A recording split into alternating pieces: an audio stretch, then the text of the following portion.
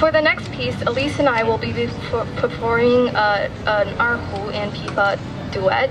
The piece is, this piece is from uh, one of Jackie Chan's movies. It's the theme song, and I hope you enjoy it.